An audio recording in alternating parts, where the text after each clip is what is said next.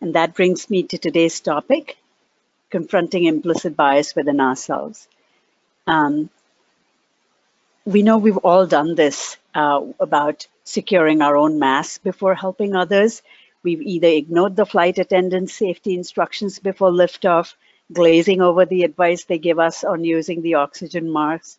For those who might miss those critical instructions explaining why we always need to secure our own mask before helping others during an emergency, we know that we need to do that so that we're not too disoriented or weak to help anyone else.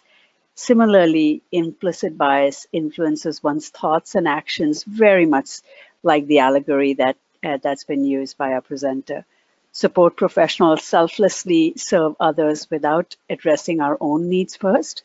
And sometimes the lack of personal awareness of implicit bias can make our attempts to be helpful um, just the opposite, causing more harm rather than improving the situation.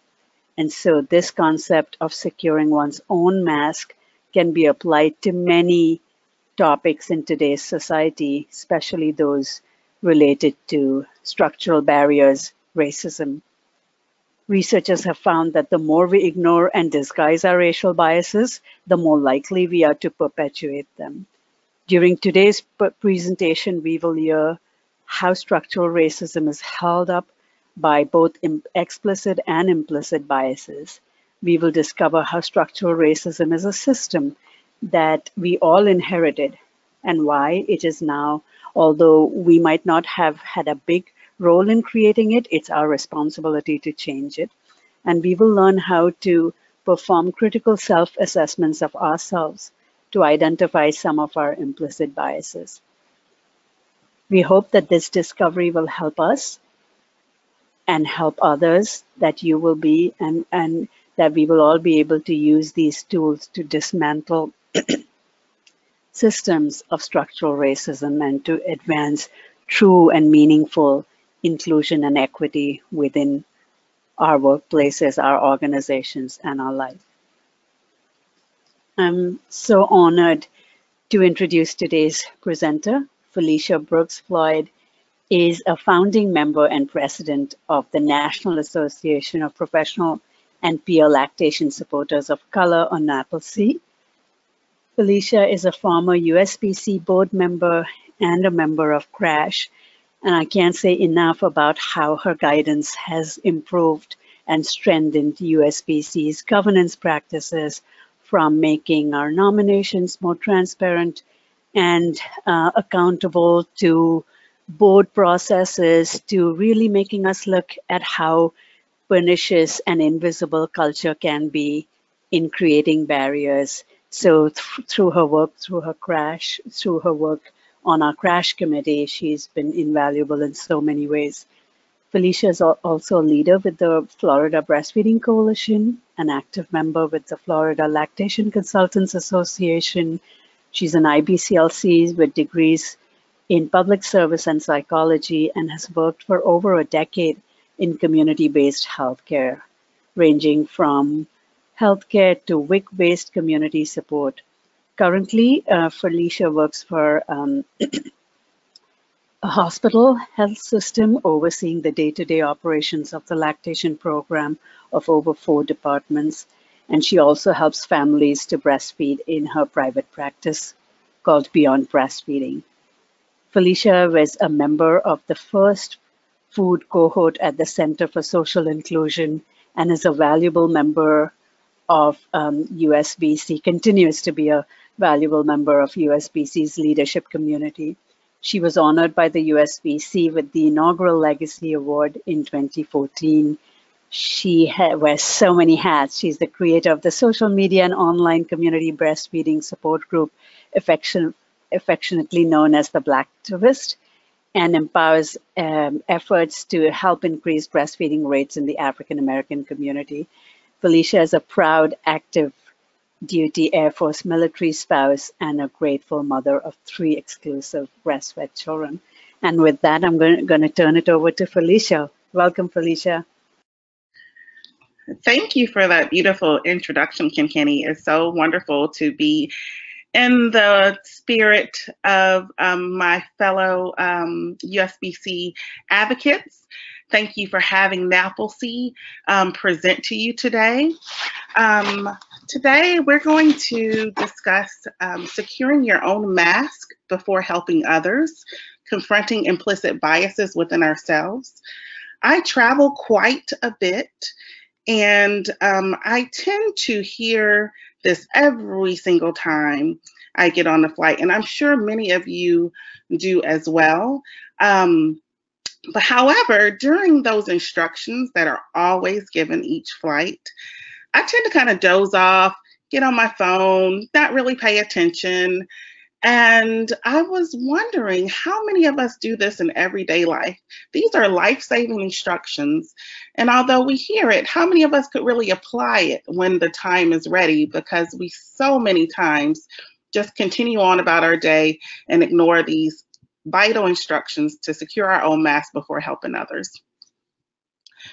So, as we dissect this, I want us to um, learn more and get more information about how to look into that um, securing our own mask before helping others. For example, um, in everyday practices, how can we sit with our thoughts, sit with our discomfort, and understand that we're bringing a lot of our own biases to the table when we're supporting communities that are at risk.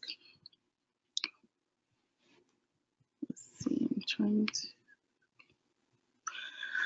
So the National Association of Professional and Peer Lactation Supporters of Color formed um, out of a mode of survival. Many times, so as we see in everyday settings, things are done for us without us. And what the common um, proverb says, um, things that are done for us without us are really not for us. So a group of us decided to really organize and show strength and support and really come together to strengthen our skills and our support level and cultivate a community that will transform um, policies and practices and skilled lactation care to decrease barriers and also increase awareness about uh, the skill sets and the things that are needed for communities of color to give to serve with cultural humility and to also support other professionals. Um, these are our board members currently, and Stacy, our Stacy Davis is currently our executive director. She's not able to be with us today, but she's with us in spirit. And I believe um, Cami and Andrea, as well as Brenda, has also spoken on the webinars at some point.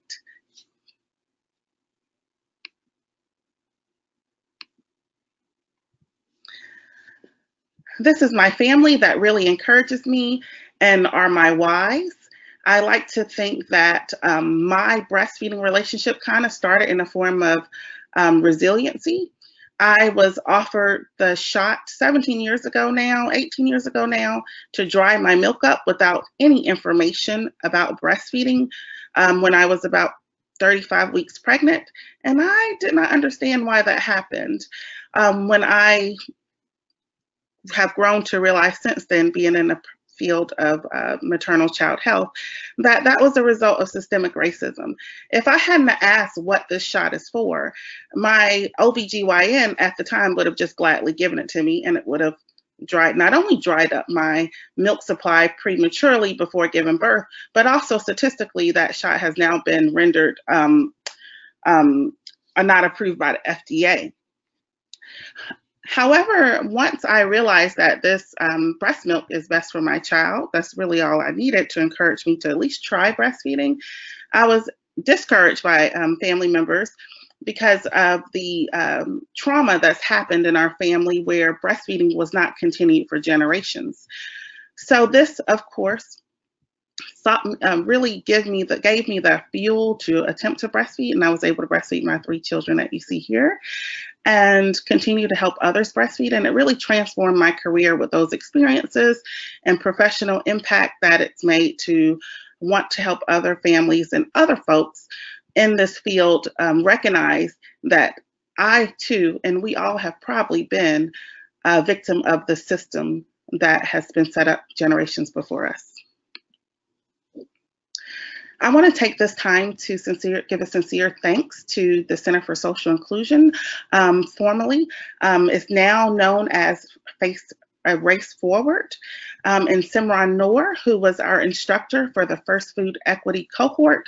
That was a grant-funded program where um, 16 individuals were selected nationally after applying to take part in an 18-month cohort to basically change the um, change and understand structural um, barriers and institutional barriers and systemic racism and have these tools that we'll present today to go forth and try to, to change the status quo and change policies and systems and practices and realizing is much deeper than individual reflection. So I'm going to take this three minutes now to really highlight my fellow cohort leaders um, and this program and why this not only the series that USBC is doing is so imperative, but why the work that each and every one of you do is so important. And Miriam, would you mind uploading that YouTube video, please?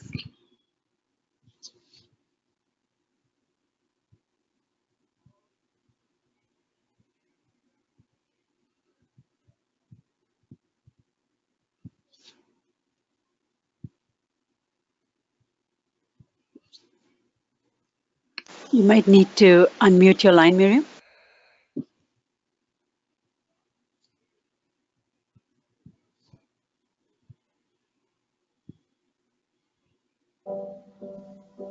First food is that that is life. That is that's the nourishment of life. We're talking about the foundation for our community's health.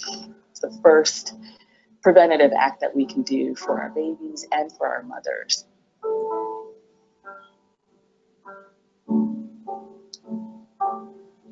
African American infant mortality rates are amongst the highest, two times those of white babies. We know breastfeeding is something that can address the vitality of an infant and bring about that first year of life and beyond.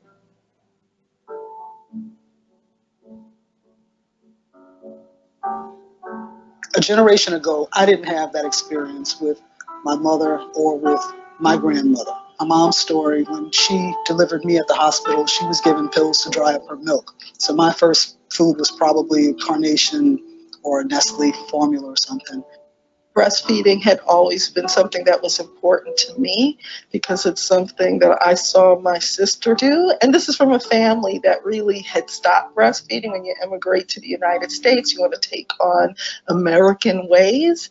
It's uh, about reclaiming traditions, it's about self determination, it's about building community. I began to see how people of color were were treated differently and how the resources were, were not going into communities when it comes to support during pregnancy and then support after having the baby. It's very important in regard not only to breastfeeding, but just health in general and health equity in general, that it's really important to have that racial equity lens. Moving away from disparities and diversity and really talking about inequities and structural racism. There are sometimes they it's very good, they're very smart and stuff like that, but it doesn't get to the people that it should go. Like I see things more and it angers me more and makes me want to do more. I mean, I, I think it's eventually that all the hospitals will be. In general, the lactation field has been by white women for white women, and I, that doesn't work for communities of color. So I obviously want to see a field that is reflective of our country at least 50% of the breastfeeding field should be people of color. That is where we'll really start to see changes in who's breastfeeding.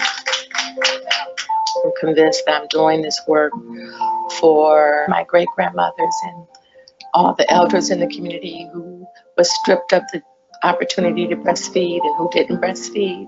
I'm doing it for mamas and the babies. I'm doing it for my community, communities of color. I'm doing it for our next generation, our current generation. Like that's that's who this work is for.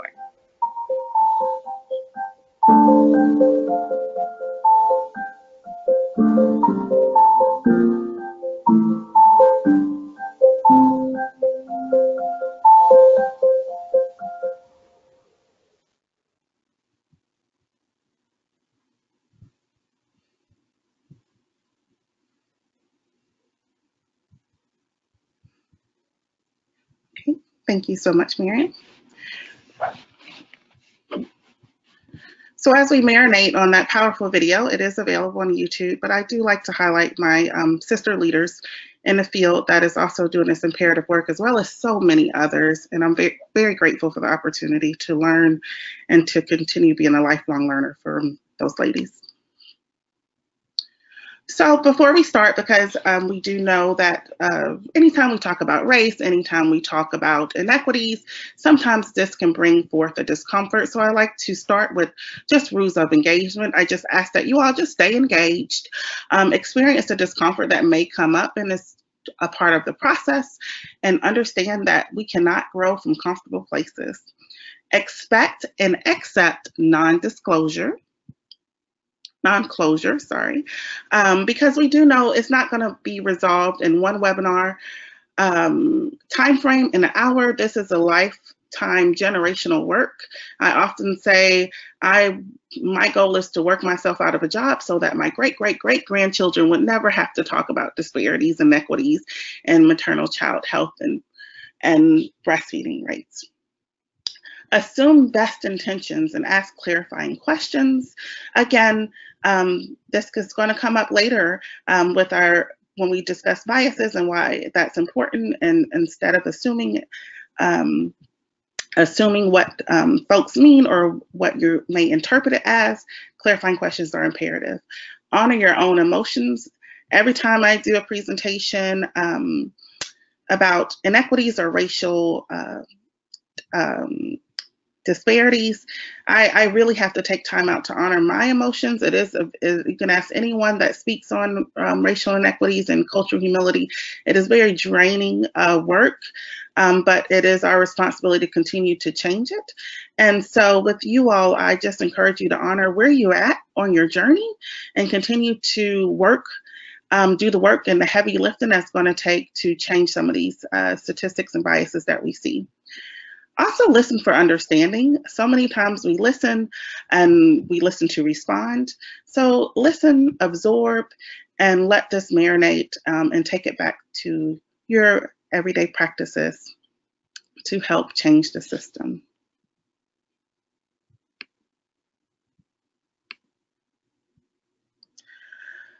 So racial inequities, diversity, inclusion, um, sometimes we hear these words so much it can it could be very uh, illusion you know it can be lost. Um, just like those instructions that we hear on an airplane like oh my goodness are we really talking about this again? So many times when i'm presenting i'll hear groans or oh are we still talking about race or why do we keep having to revisit this subject?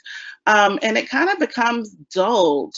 And i wanted to present this because we do know that just like that mask that can save our lives if there's an emergency in an airplane. These tools, these skills are imperative when it comes to um, practices and policies.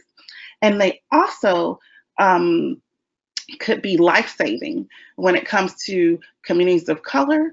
And we want to honor that and we want to make sure that the our our our um, understanding is deeper than individual, that it impacts systems, it impacts communication, it impacts board governance, it impacts funding even, it impacts evaluation, and um, how we respond to others and the service that we give to others.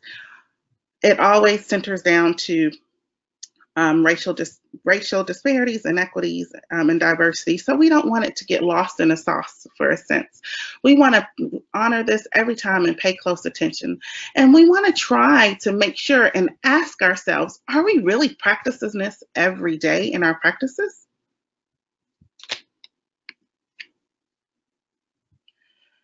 We do know that according to research that race is a predictor of how well you do in education, criminal justice, health, jobs, environment, housing, culture, and arts. Race is a, a, a determinant factor in that. I want to ask you all a question and feel free to respond in the question response or the chat box um, and we'll read some of your answers out loud. And I want you to be honest with yourself. Again, this is a shared opportunity for learning. When was the last time you thought about your race?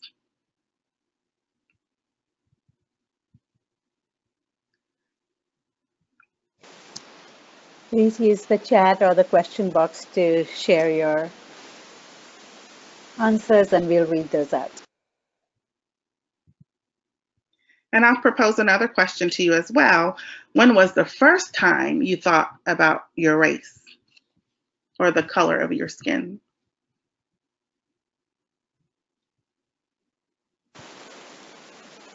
So um, we are seeing questions from a month ago, yesterday to always. It's something I'm constantly reminded of. Mm-hmm. Someone says in high school, someone says every 10 minutes. Mm. Yeah, yesterday in a conversation, but really all the time. Mm-hmm. Uh, someone says maybe like in the third grade.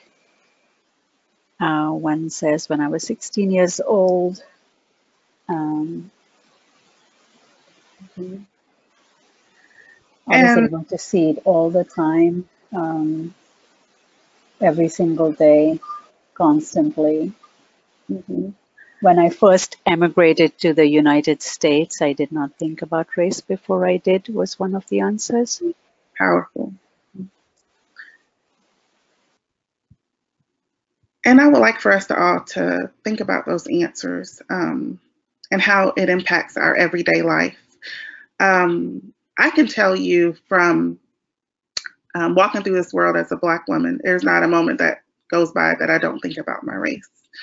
However, um, I do realize I actually just had a conversation with a colleague um, who was white, and she said that, you know, she never thought about how she walks through the world. She never realized that when she gets pulled over, um, that she's not going to get home anything other than safe. Um, and and that's a drastic difference and those that are around you those white folks that might be listening to this call that may have people of color that they are close to or they feel comfortable asking, I want you to propose this question to them and ask yourself truthfully the same question. And I can guarantee you that people of color will instantly know the answer to this, whereas sometimes it takes a minute for um, white folks to think about when was the first time that they thought about or had to think about the color of their skin or the way they walk through the world? Think about anything we fill out, just like this pertains to this slide and how um, it asks about race. That's the number one question. We have to honor that color exists. We can't go through this world colorblind because this impacts and race impacts how our babies live, how our babies eat, how our mothers die, and how we live.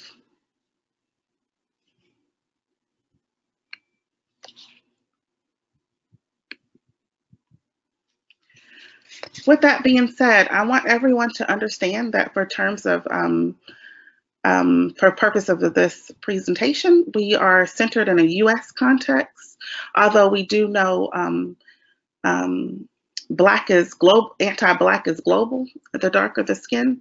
That's a global concept. We do know um, colonizers and colonization has happened to each country. Um, for purposes of this uh, presentation, we want to understand that race is a social construct, is not biologically determined, despite what many folks believe. Race is also an idea that um, is determined by um, it, it, changes what race is, as we know in the in the history of the U.S. That has constantly changed. We do know policy drives social construct of race and how that contributes to race over time. And I want us all to make sure that we center in the fact that we did not choose this system, um, but it's our responsibility to address it and do something about it, starting today if you haven't started already. For communities of colors, race is and um, disproportionately uh, the determination of how our health is impacted. We do know that there's a difference in gaps that are driven by race. And even saying the word race, according to research done by CSI, if we hook ourselves up to an EKG our heart rate immediately goes faster just by saying the word race. So that's how uncomfortable the tensions are when talking about it. But that's also why it's important that we continue to talk about it. Think about how you feel when others talk about race or when you talk about race. Um, just like I explained how I feel when I'm talking about race.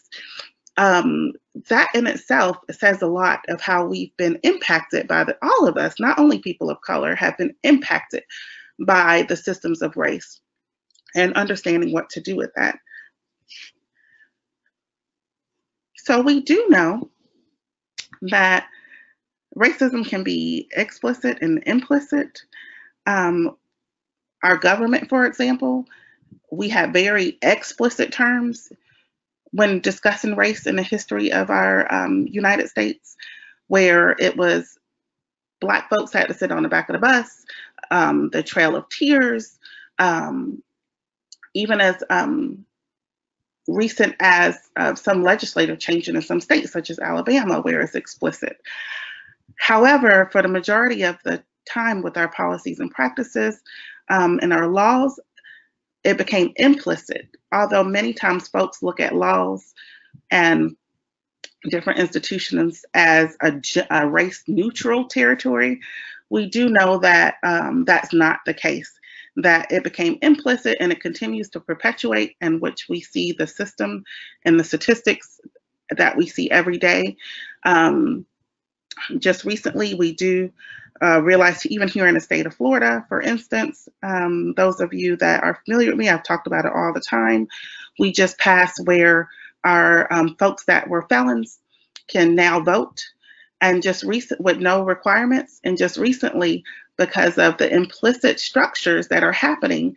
They're trying to push that folks that were felons who were voted, who were um, by 65% voted, said that they can now be restored, are saying now that you have to pay a poll tax, for instance, or pay back your court fees in order to be able to vote. So this is an example of systemic racism and how it impacts. It's implicit, it doesn't say that, but we do know disproportionately what the prison system looks like and what that's going to look like with the voting changes.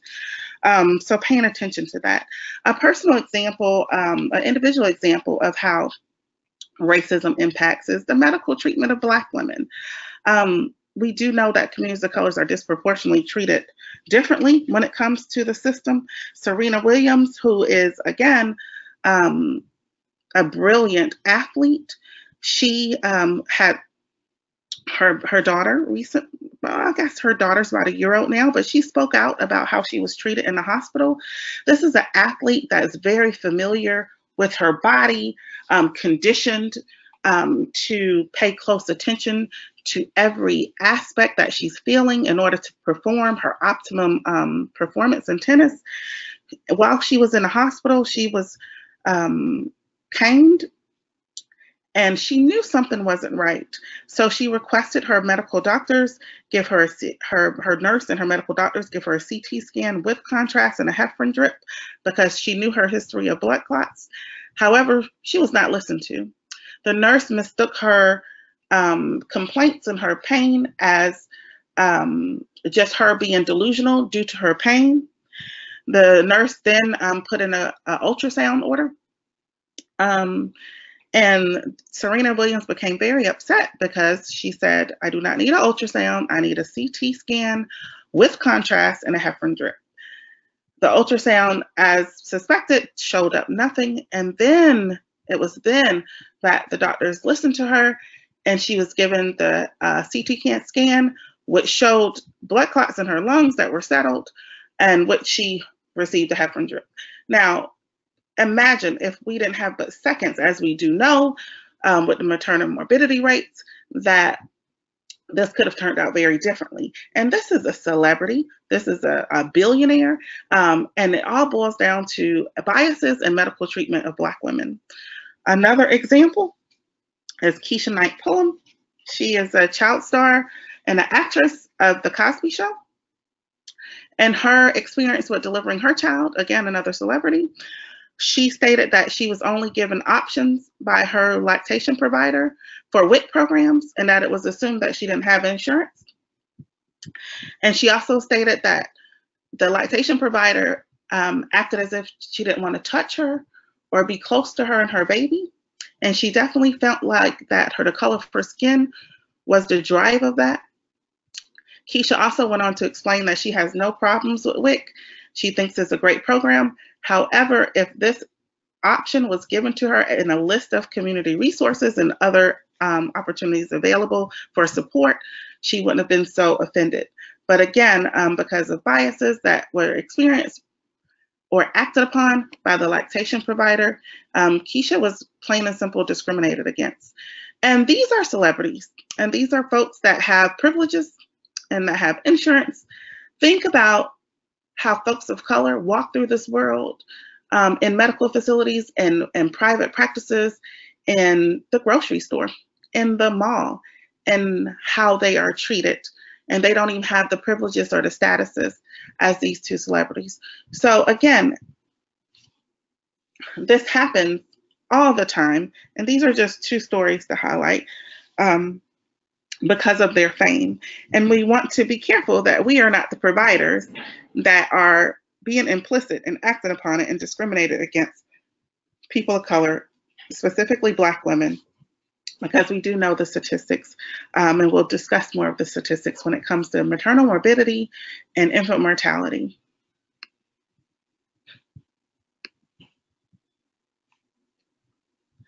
So here's an example of how racial disparity um, and inequities show up. Recently, there was articles um, that I read um, and discovered that showed a segregation in the NICU or, our, or uh, lack of care for uh, Black babies when it comes to um, inequities, how um, treatment was given and the facilities they had access to. And you can look that up um, here, and I will also provide the link um, at the end of the webinar for resources on the website. Also, we do know the reality that the CDC highlighted as well is that the access to human milk and human donor milk, specifically in NICUs to Black babies, are far less, and there's a disparity there. These are clinically and statistically um, significant racial and ethnic disparities between NICUs, um, and the racial and equity disparity and the segregation comes from the Stanford University School of Medicine in a very large quantitative study. This long history of disparities in healthcare and how healthcare is delivered shows that NICUs are no different than what we already know about Black folks and people of color and how they're treated by the medical community. We want to point out that this also takes place in organizations, and we need to reflect on how do we reduce this? How do we reduce this from happening? How, what is our responsibility in making sure that um, we're doing our part in changing the systems and the policy of practices to not have these happen and to um, change the results of how we're treating communities of color and, and medical facilities. In this specific instances, um, it was highlighted that zip codes or hospitals of Black residents um, were the highest, did not have access or were not given access to human donor milk. As we know that babies, um, as the Boston Public Health Commission tells us, that babies born to Black women with a college degree are more likely to die the first year of life than babies born to white women that did not finish high school. So, so many times folks say, oh, well, it's not a race issue. Oh, it's not about class. It's a class issue. Oh, no, it's an education issue. No, we got to name it. We got to call it what it is and call it out. And that's the only way we're going to change and challenge the system and take responsibility for it and say it boils down to race. And again, time and time again, not only individually, but systemically, and research shows that this um, is, is the facts. Let's take a look at um, breastfeeding rates. There is a huge disproportion when it comes to um, Black infants that are um, breastfed.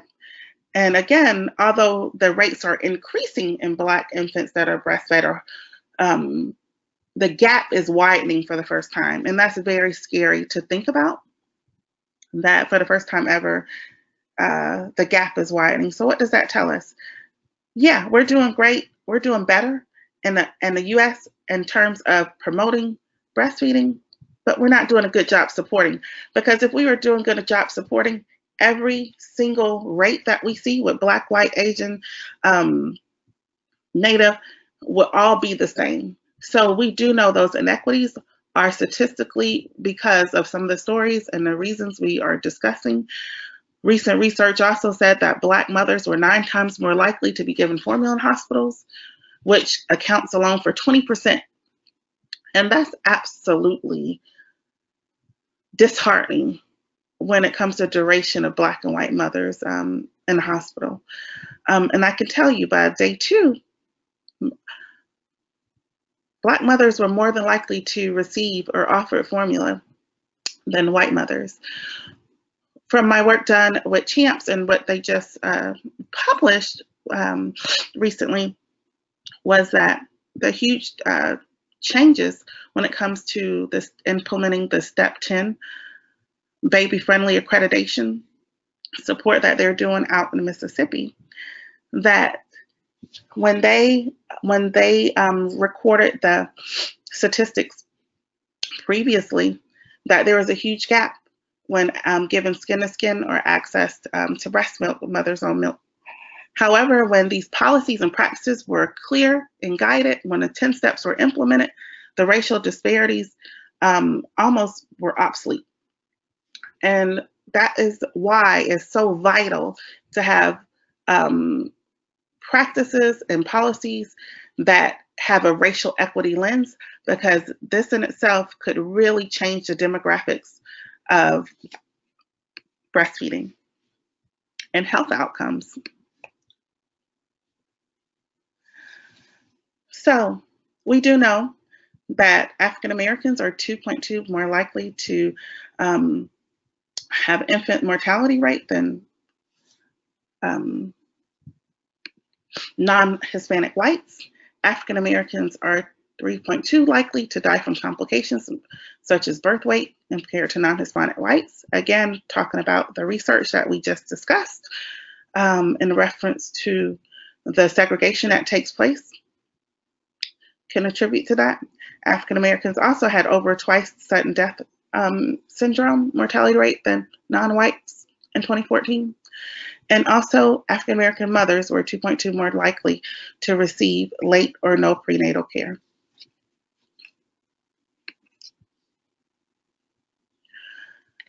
Let's break it down to um, colors of skin because we do know that all communities of colors are impacted by um, racism and poor care. And statistically, we can see that in different health outcomes, not only infant and breastfeeding, but heart disease, uh, such as African Americans um, and um, undocumented um, um, immigrants. So as we can see here, immigrants with lightest to lightest complexions earn about 8 to 15% more than to those with darkest complexion. And we also know that one shade has uh, about the same effect as an additional year of education. So think about this. And I want I want to challenge folks, um, our communities of colors too, black folks and all communities of color, thinking about this when we're talking about in terms of internal racism and all, and we do know it exists. We don't always talk about it and how that impacts um, statistics as well. And thinking about this in terms of systemically how this talks about or can impact the wealth gap that we all know that's there and the wage gap that takes place. And we're not even talking about, we're not even breaking it down gender wise. We do know disproportionately that exists as well. So let's dig deep into biases. When we talk about biases, typically when we're acting upon them, the unconscious bias, um, by definition, we're going to um, use the definition of the Center for Social Inclusion. Unconscious bias is uh, automatic mental shortcuts used to process information to make quick decisions. So, such as we're driving down the road, what our immediate response will be, such as we associate stove or fire with hot. So these unconscious biases we take pl take place, and we don't even recall, or we might not even understand why. But however, we all carry them. Everyone is susceptible to them. It's how we walk through the world, what we've experienced in our walk. We all carry biases, but we do know that acting upon biases can lead to discrimination and it can create negative outcomes that are disproportionately for particular groups and targeted groups. So paying attention to that is important and acknowledging that and being truthful with yourself is uh, vital. Biases can come in terms of explicit and implicit, as we gave the example with uh, laws that from our country previously. Explicit laws would be like black folks can't drink from this water fountain or black folks can't use this um, bathroom, um, for instance. Implicit would be Jim Crow laws. Implicit would be um, biases that took place that may take place in everyday, such as a number of police pulled over as uh, um, when it comes to demographics or uh, disproportionately um, folks killed by uh, police and the protocols that take place. Those biases, when acted upon, is discrimination. We have to be aware of biases. Um, and um, when we're aware of them explicitly, and we also think of this as like individual racism or whatnot, when folks might have um, um, or call someone racist or have an experience with explicitly being uh, said, oh, I explicit example would be like, oh, I just like whites more than I like Latinos. Um, an implicit example of that would be um, someone that might walk into a room and sit further away from Latinos, closer to whites. So implicitly, they might not even realize that they're doing that. But explicitly, if it was someone that was verbalizing that, um, that they prefer whites, we will understand why. So when acting upon what the implicit bias and, and even the explicit bias, of course, given, um, that could be racist and determined as um, how we see and how we how we how statistics and differences prevail so another example would be like, we don't rent to whatever, um, explicit background choice. Um, another example would be more criminal backgrounds done on African Americans. Uh, I do know that many people are familiar with like resumes or names on resumes example, the, the an extensive research that's done time and time again and proven the folks can have the same exact resume one resume can have um, ethnic sounding name, one can have a, a, a dominant culture sounding name, and the ethnic sounding name will be called back less or not get the job or the opportunity more than a dominant sounding name, despite the same exact um, work history, education, and experiences. So most people are overwhelmingly not aware of their unconscious bias, and that is the problem again, just like when we're sitting in that airplane listening to the instructions, we could we don't even realize when they say secure your own mask. We don't even realize when they give us uh, the directions of the exits. We just sit there and unconsciously are not aware of it. And those are biases, um, just like the biases that we can exhibit when we're practicing and helping our communities of color.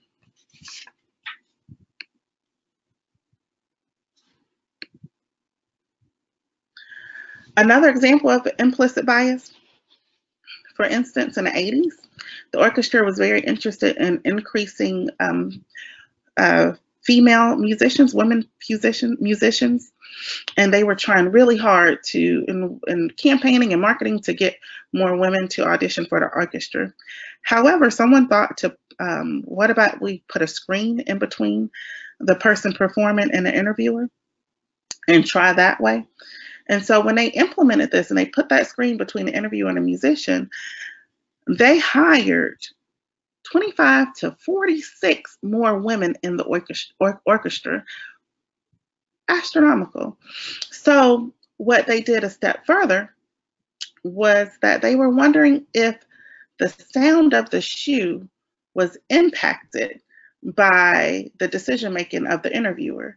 So this time, what they did was they still had the screen up. However, they brought the um, interviewer in um, last and put the audition, the, the person auditioning in first, so how so they could not hear the person coming in.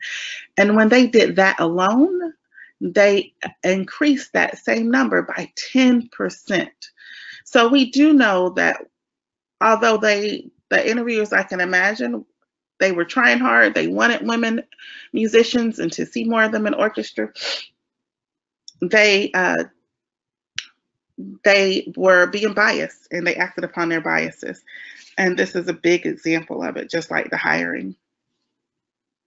So how do we change this? What do we do? How do we secure our own mass?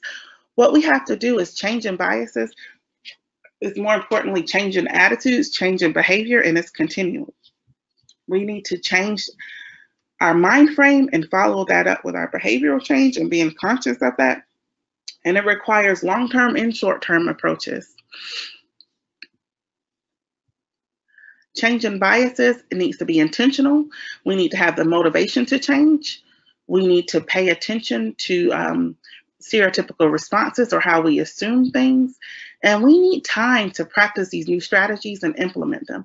And I will use myself, for example, you know, so many biases that um, put into play, for instance, um, what the example I always give as a as a clinician is when um, I first came to the hospital, which I never heard this term in the community, and those that might be in clinical and why it probably attributes to um, racism that takes place is when we hear um, that black babies often do better um, that are born prematurely than white babies. And what that assumption's done, what are we doing or what was I doing? I had to ask myself when I, when my nurses called me in and stated, oh, Felicia, I have a 36 week um, white baby um, boy. Or how respond to, oh, Felicia, I have a 36 week black baby girl.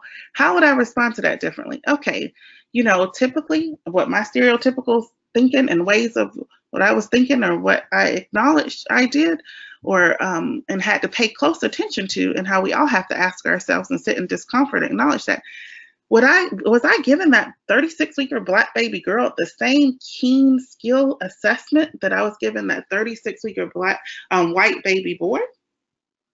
Not sure, but I had to be aware that those like the stereotypes or the status quo or the things that were said or um, um, the systemic mistreatment that happens can um, be a habit that that sits in healthcare professionals and could really determine outcomes. So ask yourself, what are those things that I stereotypically respond to um, and may approach knowing um, that this might be a habit that can cause an inequity and an outcome? We have to change individual biases. We have to surface our own assumptions, just like the example I gave you being vulnerable. Um, we have to check our own biases we have to really commit to equity, not just on paper, not just for grants, not just disparity pimp these grants that many organizations are doing. We need to commit to it in our practices and our trainings and digging deep, joining groups, doing more, addressing it in our private safe settings of folks that look like us. Start where communities of colors are by doing better. We have to also build trust. So many times folks say, um, white white clinicians will come up to me like, no matter what I do, I can't get black women to come to my support group. Why is that? Really? You know, we have to address those biases and those tensions. First, we have to build trust. We have to start with the community priorities. We have to engage in a resource and care about not just that woman's brown breast, but care about how she's going to pay her rent. We need to care about um, the stressors that take place and that takes place on people of color walking through this world every day. We need to engage and um, really have a strong influence of our institutions and our organizations and take this back and demand um, that these policies are structured in a way that is um, centering racial equity with different kinds of racism, most oftentimes when we use the term race, we also think of it of an individual standpoint. Um, but we do know that institutional racism and the policies and practices that happen um, to discriminate often benefit white folks um, unintentionally or inadvertently. Structural racism is the history and the institution of racism that operates together when these systems are combined. And again, all of these kind of work as a well oiled wheel, as we think of, that when we combine the three, then we we this is the problem and this is the um, system that we inherit and that we have to take a responsibility and to dismantle in our approach. So instead of taking things personally, or when I say, or folks might say, oh, you benefit from white privilege. Well, well, I grew up poor. I don't benefit white. I had to work hard. I had to pull myself up by the bootstraps, blah, blah, blah. However, you may walk through this world white and you might not have unconsciously realized that you benefit from the system and the structures and the, um, the laws that were made to benefit folks that look like you. You do have to acknowledge that the systems that are in place definitely perpetuate racism if we think about how the system was created and how it impacts negative communities of color. As we say all the time in breastfeeding, facts are not attacks, and these are the facts. And you have to swallow that pill and determine what am I going to do about this? Okay, I am uncomfortable in this. This is discomfort. I, I understand um, that I am, I, I, although I um, feel like I am not a benefit of the system, I do participate in it. And what can I do to make sure that these inequities do not take place? So a tool that I encourage folks to look at and that I love and I even have to use is um, a tool that is created by a Center for Social Inclusion that's research-based called the ACT tool, Affirm, Counter, and Transform. You will also have this link um, to look at that and examine that um, those counseling skills of how we're framing the conversations about race. Many times, um, folks, especially white people, come to me, well, how do I have a conversation about race at the dinner table? That's so uncomfortable, or with um, folks that are my colleagues that are talking about it because they're comfortable about discussing um, racism or being racist. How do I address it without being confrontational or without feeling like um, I'm going to be uh, ostracized? I can't promise you won't be ostracized because, like we said, talking about race is always an uh, create attention and can be uncomfortable. But we can give you tools and use this tool as a bridge to create those conversations and, and start normalizing the conversation to have that impact to remove the barrier and ideally change the system.